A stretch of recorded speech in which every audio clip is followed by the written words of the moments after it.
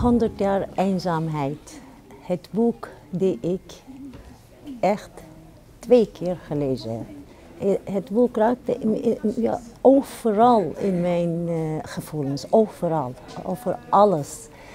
Dat is zo waar. Eh, ja, ik kan urenlang over het boek eh, praten. Dus ik krijg nu kippenveld. Ik adviseer aan iedereen, echt, van Oba, die boek